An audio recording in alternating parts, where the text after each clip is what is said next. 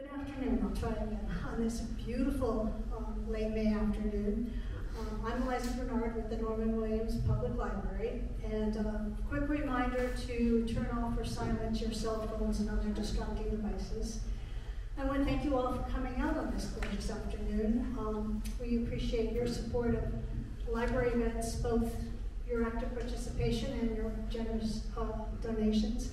And I do have a sign-up sheet for our newsletter so you don't miss any of our other uh, things coming up. The Yankee Bookshop and I have been um, planning and plotting for the next several months. We've got some very exciting programs.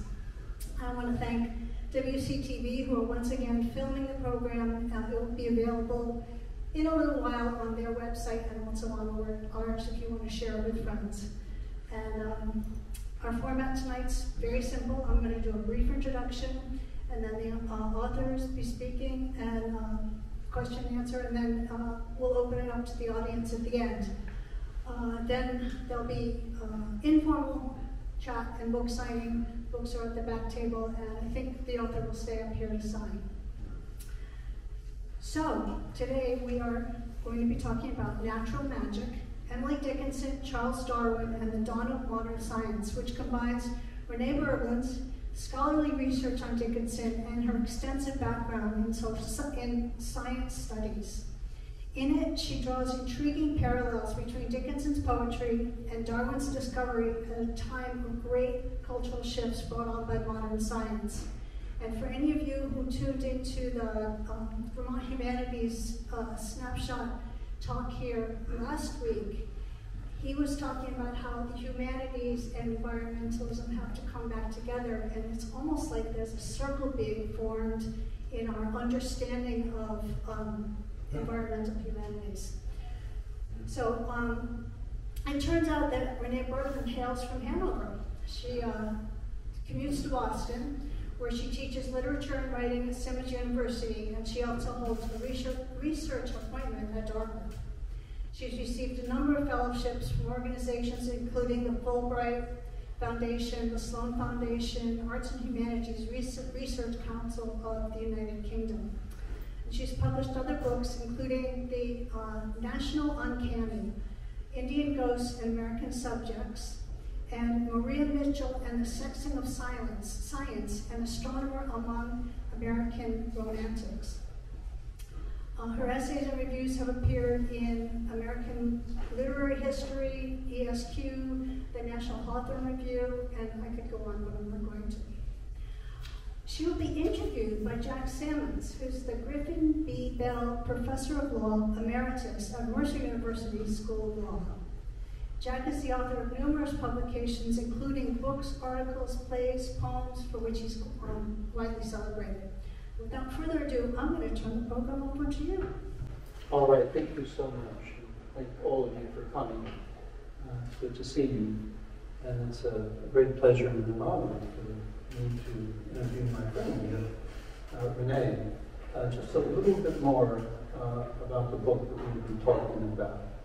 So what Renee has done is taking these two fascinating characters um, who were there at the beginning of the modernity and place their lives in juxtaposition um, in, through biography and, intellectual history and found great similarities. She does it for a very particular purpose. Um, what was happening at the time is that science and art were separating into separate disciplines part of the separation of what had been called natural philosophy, which was theology, um, philosophy, science, what we call science, all gathered together. They're all being divided out. And in this division, it's a division of nature and culture. Uh, nature is thought of as reality, and science is that thing which studies it and therefore tells us what's real. In the process of that, Renee examines what's lost when we do that. And many things are lost, lost in the channel. Um, for her purposes, it's captured in the idea of natural magic. And I'll ask her many questions about what she means by natural magic uh, when we get there.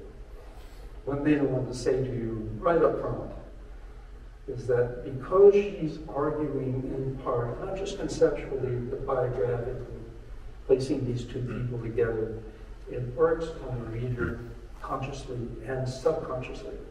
You can no longer think of this as just an intellectual question. It becomes a question of these two people and how do I uh, relate to them. It's powerful. It's a, just a spectacular book. It has one serious drawback, and that is it is too generative. By which I mean that my friends and family are sick of hearing me talk about Emily and Charles as if they were this new young couple that I found terribly interesting. They don't want me talking about that anymore. Okay, so we're going to start with the. Um, you heard Renee's background.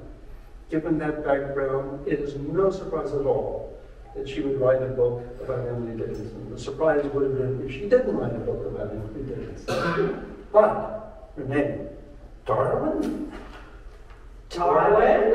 Why Darwin, the great disenchanter, to write about Darwin in conjunction with her and enchantment.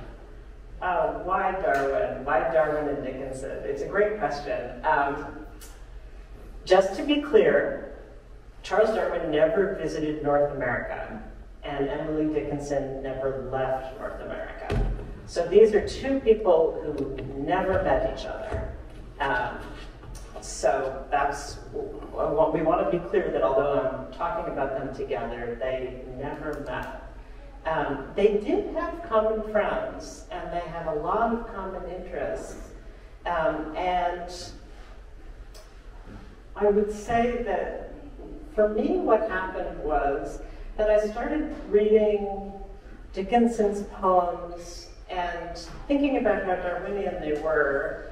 Um, for example, um, there's one that starts, There is a flower that bees prefer and butterflies desire. And then it's about the purple clover. And as it goes on to describe the purple clover, um, Dickinson describes clover and grass as struggling in a friendly, sweet way, as sweet litigants for life, she describes them. And when I read that, I was like, well, it almost sounds Darwinian. She's interested in botany. She knows a lot about biology. But my preconception of Darwin, like mm-hmm. Jack's, I think, was came from Tennyson's poetry. And Tennyson said things like, nature red in tooth and claw. And that's how I imagined Dar- Darwinian, the struggle for life, as something very brutal. Um, it was as I learned more about Darwin, that I discovered that Darwin wrote about a brutal struggle for life, but he also wrote about a sweet struggle for life. And that when Dickinson used sweetness, um, she was referring directly to Darwin. Mm-hmm. One of the things she said in a letter to a friend, she said, Darwin never told us um, why the sweet thief was part of life. And the sweet thief in that sentence is death. Um, but it's not the brutal, violent death, it's the sweet death. Um, once I realized that they had that connection, I started to look for other connections, and I found, as we'll discuss, lots of mutual influences, lots of books that they both read, and even a few people who they both knew or corresponded with. So their connections were, were actually pretty close, although they never met. Yes, and um, well, as, as you know, the Tennyson quote is taken out of context of the poem, which makes an entirely different point, but people only remember the red tooth and claw.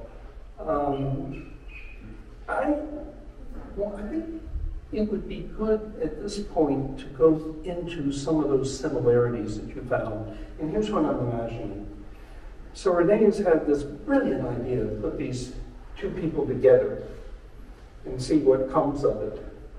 And she starts doing, she knows Emily well, but she starts doing research on Darwin and she goes, oh my goodness, look at this. This is the same. In fact, in one picture that was taken when they were about the same age, they're, they are different time periods, he's much older than she is, but when the pictures were taken about the same age, they look alike. and I can imagine you, as you're working on this, saying, huh, I'm so confirmed in, in my decision to pursue these two together. Is that how it was, what it was like, and what were the similarities that grabbed you? I think, yes, I love all the superficial ones. I love that when they were six years old, they both had sort of strawberry blonde hair and the same exact haircut. I think that's really cool. Um, they look very similar. Um, I love that they both have Newfoundland dogs, um, who they were very, very close to, and both of them attributed um, psychology, personality, soul to their dogs. I was really interested with that. I loved um, that they were both really, really strict about only wearing simple clothes. She only wore a white linen shift. He only wore a black lab coat. Um, but then, when they got when they got home, they both wrapped themselves in very similar paisley shawls. So I loved all that superficial stuff. Um, I also, I wouldn't say that I loved the different ways that their reclusiveness have been remembered. Both of them were recluses. Both of them really avoided going out. They stayed home. They didn't want to do social things. They focused on work all of the time. Um, and for Darwin, that's always remembered as part of his being a great man. He was a great man, and so of course he didn't have time for all that superficial stuff. Mm. Um, but when I was introduced to Dickinson, her um, focus on work and her refusal to do a lot of social stuff was presented to me originally as if she was like really, really psychopathic or something. It really seemed like a disease.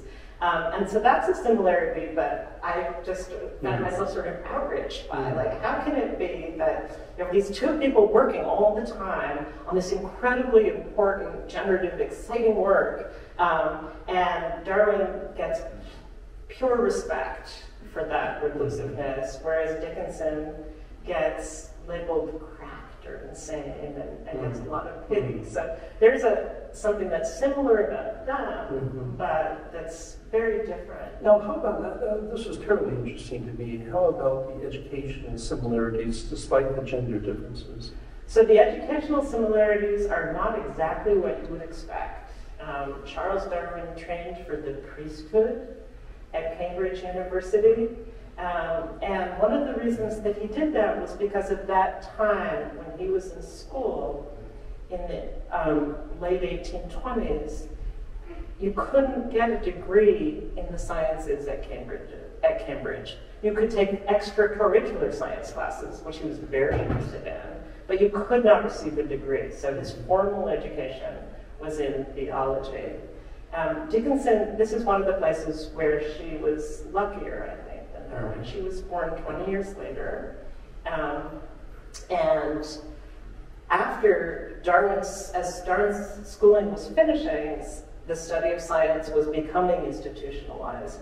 But it was still a little bit radical. It was, still wasn't, I mean, if you really wanted to get a serious degree, you obviously would study classics, right? Mm-hmm. Because after you studied classics, you could enter the priesthood or you could become a lawyer or a politician. You could be in public life after you studied the classics.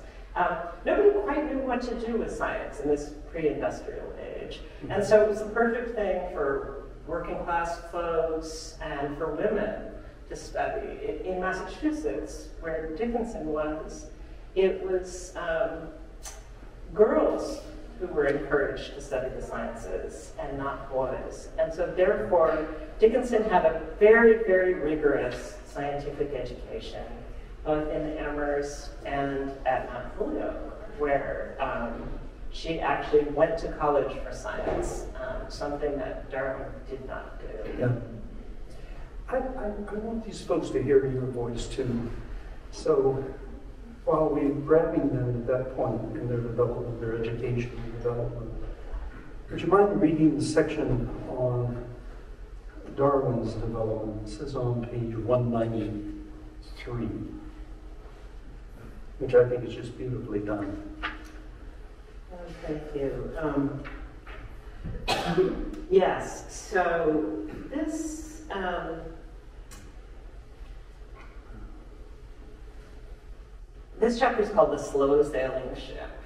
Um, and it's about the time in Darwin's life um, when he'd been home for about 10 years from his great voyage. And he published, in that 10 years, he published five books um, about the voyage of the Beagle. Um, but he hadn't done anything in biology. And his great idea from the voyage of the Beagle was this idea of natural selection. Um, in order to write about natural selection, he needed to establish his credentials and his expertise as a biologist. He looked through the few specimens that had not yet been described, searching for a species that he could truly master. When he noticed a tiny, mysterious animal that he had collected almost 10 years before on an island off the coast of southern Chile, he got excited. Darwin had picked up a conch shell perforated with boreholes in 1835 as he strolled along the beach at Low's Har- Harbor in the Chonos archipelago. It was one of the most beautiful places he'd ever been. The view of the Cordillera Mountains in the distance may have made him feel as if he were walking in Humboldt's footsteps. In his diary, he wrote, I cannot imagine a more beautiful scene than the snowy cones of the Cordilleras seen over an island sea of glass.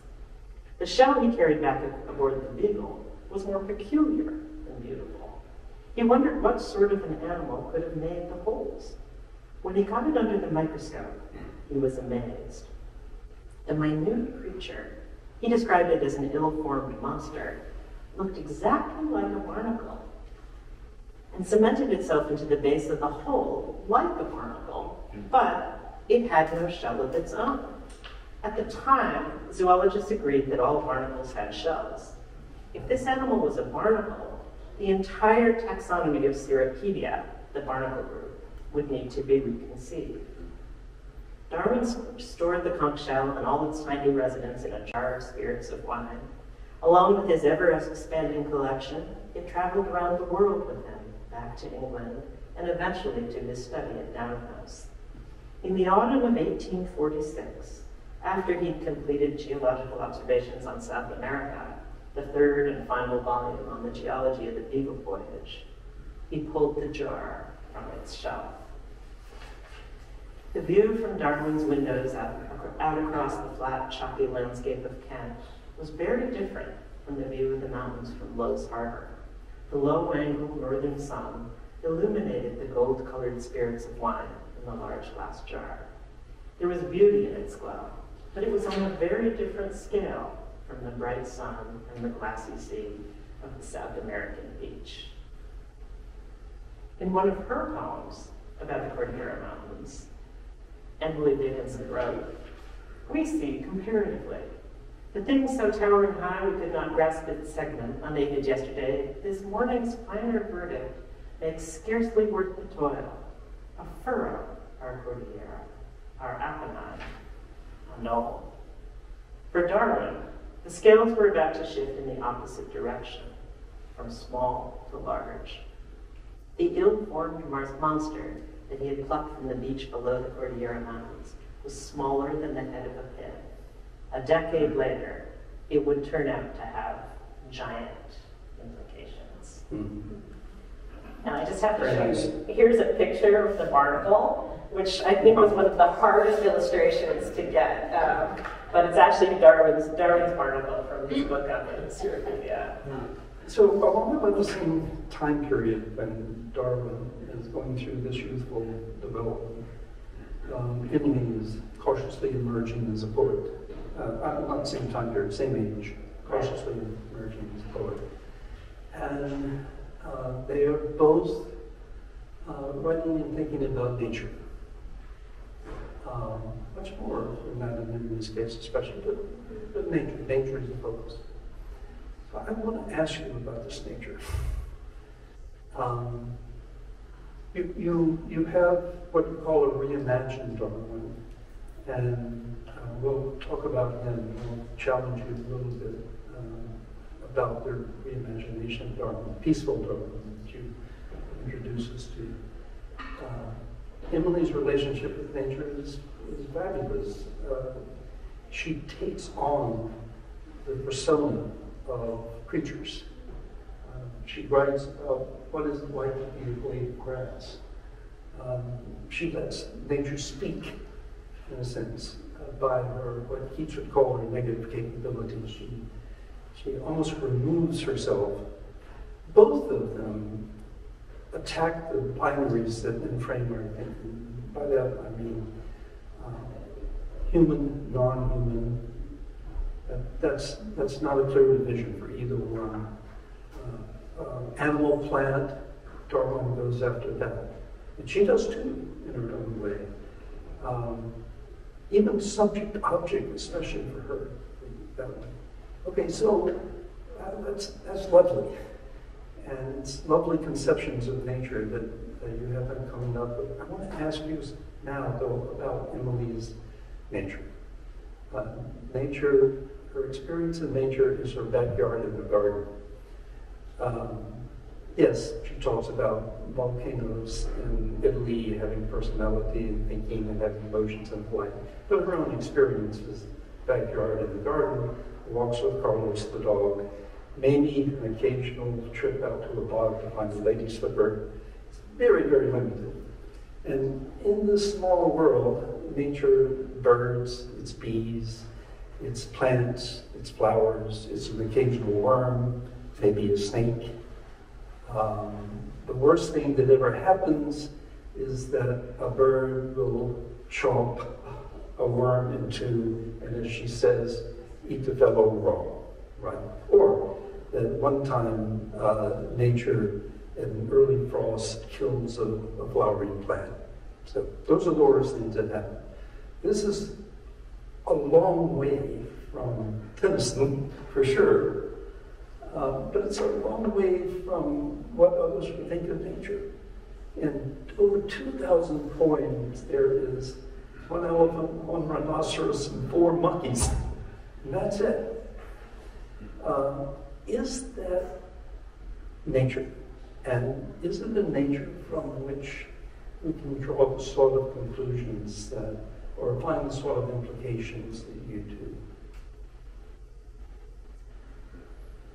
Or is it an essentialism there? Is an inherent, perhaps, essentialism there in understanding of nature that make it difficult to generalize from? So, you're right that um, she didn't travel very much. She went to D.C., she went to Philadelphia. Um, Boston. But yeah, Boston, of course. But when she was doing that kind of travel, she may not have spent a lot of time outdoors. Mm-hmm. So the outdoor world that she knew was all around Amherst, Massachusetts. You're right about that. Um, I would argue, though, that um, to describe that as a small world is, is a terrible mistake. Okay. Um, I would argue that Amherst, Massachusetts, in the 1840s, mm-hmm. um, was a hub of scientific inquiry. And the, the man, Edward Hitchcock, who was the president of Amherst at the time, and who organized um, the curricula at both of her schools, Amherst Academy and Mount Holyoke, um, was an eminent geologist. Um, and her neighbor was an astronomer the reason I'm talking about geology and astronomy is because I think that's what makes Amherst so big. Mm-hmm. Um, she had a sense of Amherst um, in relation to the, the outer cosmos, in relation to the stars. She was educated in astronomy. Um, and even more than that, she was educated in geology. Um, Hitchcock was most famous for discovering the dinosaur footprints which he thought of as the tracks of a sandstone bird. Um, and that's Hitchcock, her teacher's um, connection to Darwin, is that Darwin wrote Hitchcock a letter admiring the, the, the bird tracks. Um, but Dickinson herself, when she wanted to dis- define poetry, she said, This is a poet. It is that distills amazing sense from the familiar species perished by the door. Mm. What she was talking about with the familiar species perished by the door was the fact that the doorsteps in the houses of Amherst had fossil footprints in Mhm. them. They were full of fossil footprints. And what she was able to find in those footprints, right by that, right by the front door of her house, those the front door footprints, um, was amazing sense. I love that word combination, right? Because there's reason, it's sensible, there's sense, and there's also wonder. It's amazing, Mhm. right? And a poet is the one who can distill that amazing sense Mhm. um, from that sense of deep time, from that sense of thousands of years of history right at the door Mhm. in Amherst. Mhm. Um, so yeah, I don't think it's a small world. Well, I'm, I'm, I'm with you uh, on all of that. Um, and perhaps at some point we can talk about um, Higginson and how he, he was a good friend of hers, Tom Wentworth. Thomas Wentworth. And he was a friend of Emily's, but he was also a friend of Darwin. Sort of a connection between the two, going back and forth. And uh, another expansive part of her world is that, uh, that Darwin and uh, Dickinson were subject to uh, same influences, the intellectual influences, and we can talk about that a bit. And I'll, I'll, I'll leave this alone, but her idea of nature seems to be small. And it is a, um, as Latour would say, it's a, it's a non-social nature. It's not nature connected to us. Uh, she never talks about the things that we eat. Um, he doesn't either, but yeah. So in, in that way, it made me puzzled about the nature, but, but Yeah, I think she's a little more abstract. mhm, Yeah, they both, they both are. They're both abstract thinkers. Mhm. Let's um, go on and maybe s- would be good to at least mention some of those influences uh, that they shared. Um, there are too many here. Lyell, who um, Lyell was small steps over long periods of time, how changes occur. Uh, Humboldt, the, one of the world's most interesting men, uh, and he was the one, the web of life, uh, the way we think when we think of Gaia, that really comes out of Humboldt. And there's then, well, there's a bunch. Uh, Malthus, Lamarck, Herschel, Hitchcock, Thoreau, Emerson, Browning. She covers all of these. Uh, and they all are, are terribly interesting. And uh, the Humboldt one grabbed me, and I had to pursue it. So I've been reading about Humboldt. Which ones grabbed you? Which ones do you think were the most important shared influences on them? Uh, well, you're right about Humboldt. Humboldt's very important. Um, I can um, combine them just by reading what Emerson, Ralph Waldo Emerson, wrote to describe Humboldt. Um, he said, Humboldt was one of those wonders of the world, like Aristotle, like Julius Caesar, like the Admirable Crichton, who appear from time to time as if to show us the possibilities of the human mind, the force and range of the faculties. A universal man, not only possessed of great particular talents, but they were symmetrical. His parts were well put together. As we know, a man's natural powers are often a sort of committee that slowly, one at a time, give their attention and action. But Humboldt's were all united, one electric chain, so that a university, a whole French academy, traveled in his shoes. I love that description. Um, He was amazing, and he was a best-selling author of, and a, just a fantastic explorer. Um, and I would love to say that when Dickinson talks about the Cordillera Mountains or Tenerife or the Chimborazo or all of her geographical references, that she's referencing Darwin because he went to those places and he wrote about them, all of those places on his journey. But he went to those places because he was such a Humboldt fan. Yeah. Um, and when he spent his time in college, he was reading Humboldt's Humboldt's narrative of his journey through South America, and then he would go and sit in the greenhouse and look at the tropical plants and just just dream of getting to getting to travel where Humboldt had. Yes. So he was totally influenced by Humboldt, and we know that Dickinson was influenced by Humboldt too, and also Darwin. Yeah. But but Humboldt came first. I want to suggest that the best of Darwin comes from Humboldt. Yeah, perhaps, perhaps. He, he, he adored Humboldt. Yeah. Um, I think the other one that I was excited about was Harriet Martineau, um, Oh, yeah. who introduced Darwin to Malthus's um, demographic theories, and so she was important for Darwin in that way. Um, but also, um, she went to Amherst in the 1840s um, and went to the college, and while she was at the college, she attended a geology lecture, and she saw all the benches filled with schoolgirls from Amherst Academy. And she wrote about that in her book. She was thrilled to see girls studying geology at Amherst College. Um, there's no reason to think that Emily Dickinson was in the classroom that day. We, we, don't, we can't say that for sure. But we can say that Martineau remarked on girls studying geology at Amherst, and that at one point in time, Dickinson would have been one of those girls. Let me, let me use Martineau's introduction of Malthus um, to, uh, to Darwin to get to what may be the elephant in the room, and that is Darwinianism, um, or Darwinism. So Malthus, as Renee was saying, has this theory, and it is that populations grow exponentially, but uh, food grows linearly. So in any population, there will be inevitable competition for survival for food. That's where Darwin gets the idea that becomes the phrase, it's not his phrase, I think, uh, the survival of the fittest. He needed to know what was a motivating force for evolution, and he uses Malthus. Well, Malthus was completely wrong. His mathematics were wrong. He, he, you know, if, if uh, uh, people had been careful at all in reading him, they would have seen that. It's not hard to see.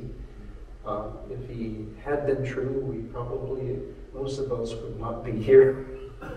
It was just, it was way off. Uh, but uh, Darwin used and Darwin became known as the natural selection guy, and that became known as survival of the fittest. And from that comes the idea uh, we are in this ontology of violence that we all live in. She has convinced me that uh, given the moral limitation of his species, which is that he is a 19th century aristocratic British intellectual, um, that he's a nice man. He's a very nice man. He's honest. Uh, he is humble. I'm more than willing to give credit to all of those that came before him, as he should have. Um, and that Renee's image of Darwin is true to the man and would be exactly what he would want people to be saying about him. So you've done him an enormous service. But there's this other side. It is Darwinism, uh, for which we can thank uh, for social Darwinism, for eugenics, which unfortunately at one point uh, Darwin actually encouraged, I think it was his brother-in-law that was doing eugenics. It, it, it goes from there to Germany and then to Nazis and then to the extermination of Jews, uh, corruption of the blood, the line that you now hear. Uh, that comes out of uh, Darwinism, comes out of eugenics. Uh, Adam Smith, the great economist, Scottish economist, had an influence on Darwin. Darwin's influence on thinking of Adam Smith would have horrified, or Darwinism's influence would have horrified Adam Smith. The most corrupted forms of capitalism uh, come out of that. And the hardest thing, and the hardest thing to reconcile with with what Renee is saying is that for many people, they think of Darwin as the great disenchanter, that he reduces everything, he's a reductionist. He reduces everything to one theory. It's like Plato's theory of forms. It, it's a theory offered to explain everything.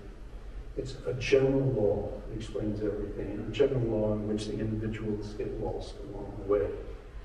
Um, so, let's take that, take what Renee said a few minutes ago, that these are people, both Emily and Charles, who wanted to avoid the public, wanted to avoid confrontation. I didn't like it. Um, uh, almost to an extreme, didn't like it. Can we then blame this nice fellow Darwin for Darwinism, for not speaking up strongly enough against what he saw, and he did see it, was happening to his theory? Why don't you blame him?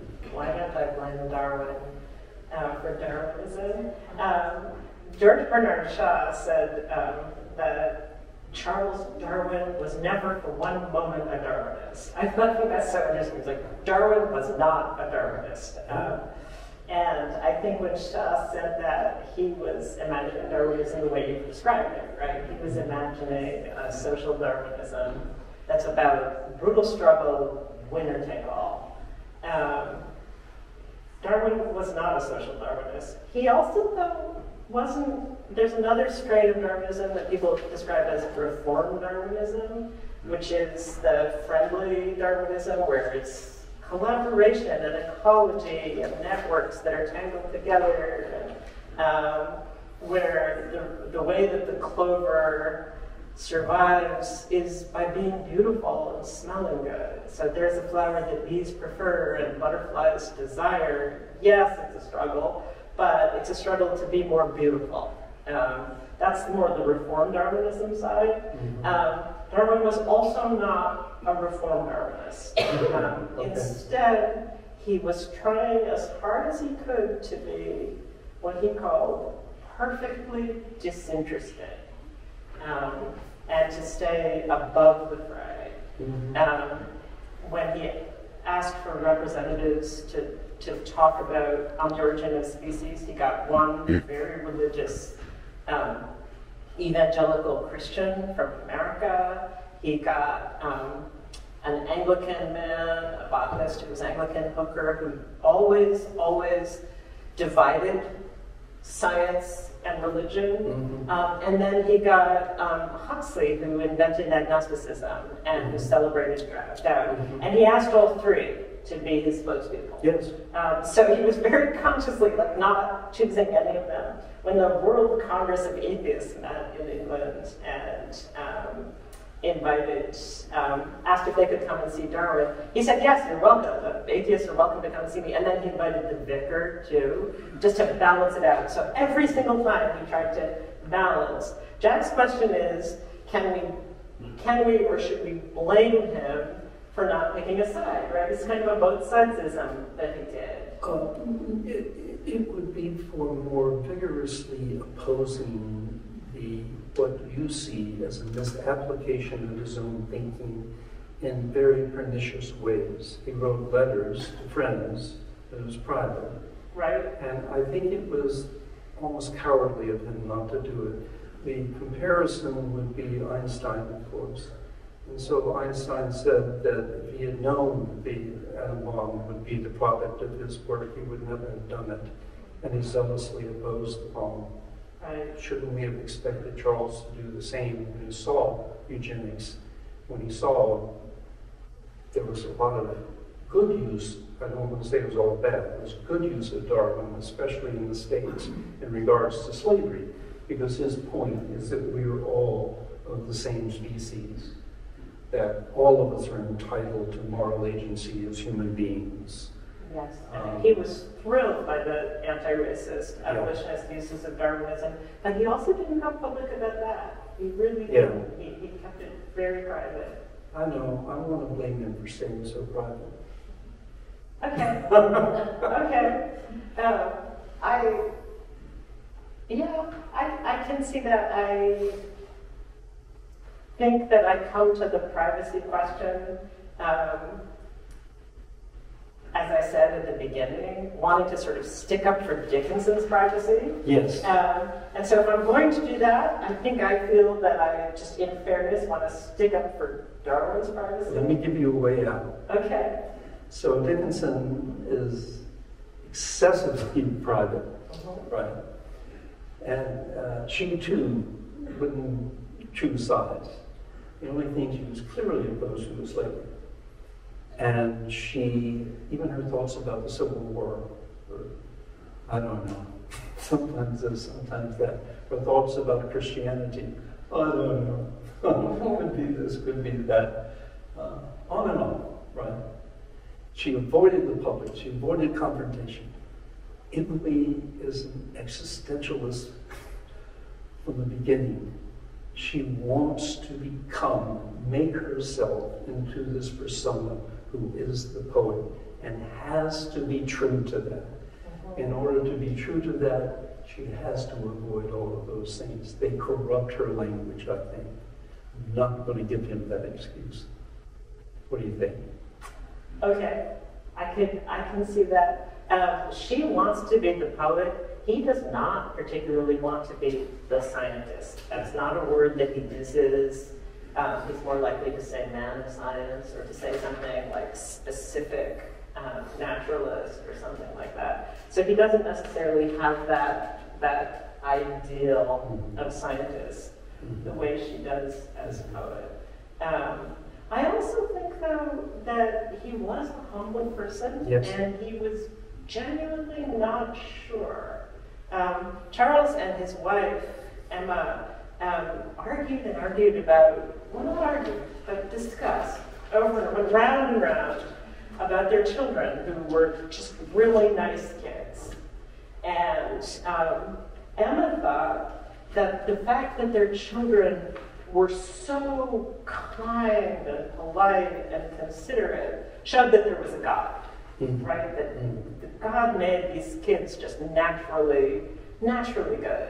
Mhm. And Charles thought that the fact that they were so kind by nature showed that there was really no need for a God, right? They were just born good. Um, and But it also showed that people who weren't kind, that there's something profoundly wrong with them. Right, right, exactly, and that's what he thought. Um, but so they went round and round, and I don't think that he ever really decided what he thought about that. We, we are, we have only a few minutes left, and uh, she and I can talk about this for days, Yes, we could. I- I'm certain. Let me ask you one quick thing. And You're the only person in the world whom I can ask this question and it makes immediate sense. Why are there no Indian ghosts in Emily Dickinson? Ah, That's- I've got an answer. so, my first book was about representations of Native American people as ghosts. Um, and Emily Dickinson does not represent Native American people as ghosts, although most people writing what she did loved that metaphor and did all the time. But in the first poem that she ever published, um, which is called Sic Transit Gloria Mundi. It was published um, in the early 1850s, and Dickinson was probably really upset. It seems like one of her friends sent it to the newspaper without asking her, is probably what happened. Um, she never mentioned its publication. Um, but at the end of that poem, she says that at, at some point she's going to die. As poets always do this, right? I'm going to die, but my poem will live on. The memory of my ashes will live on. And then she says, and farewell, Tuscarora, and farewell, sir, to be. Um, when she does that, it's one of her few references um, to Native people. Um, she's saying, I'm going to be extinct. And she's saying, yeah, Tuscarora is a tribe of Indians who are said to be extinct in the 1830s. And also, dear reader, farewell, sir, to thee. You're going to be extinct too. Um, and she's very clear that extinction is coming for all of us. Um, but maybe not for her poem, Yeah. which is going to last Yeah. beyond that. Yeah. Well, uh, going to turn it over to you for questions. There's so much we didn't get to, including the question of what is natural magic. So I hope people might pick that up. Uh, in some ways, it is uh, the immanent mystery in which we all live, but she has something much more specific in mind. It's the hiddenness behind things, the presence of absence, as Heidegger uh, say. We didn't get to talk about that. We didn't get to talk about the theologies of these two people. They're very, very interesting in their differences. And uh, so much more. Um, but we're going to turn it over to you. And before we do, I wanted to read one thing. This is a book in which Renee is trying to convince us to re enchant the world. By visiting these two people, and their struggle against disenchantment, despite what many people think about Dara, their struggle as she sees it against disenchantment, by returning to these people, their world can reemerge for us, and we can apply it in our time and learn how combining these two to live poetically uh, and, and to dwell poetically in our world. So it is, it ends on a very positive note um, and uplifting. And I wanted to end our section of this with uh, a poem. It is one that uh, Renee uses, but she in the book, but for another purposes. But I think it applies to our experience as readers of her work. Exhilaration, because it is exhilarating, her work is. Exhilaration is the breeze that lifts us from the ground and leaves us in another place whose statement is not found returns us not, but after time we soberly descend, a little newer for the turn, upon enchanted ground. So thank you for writing, Renee. Oh, thank you so much.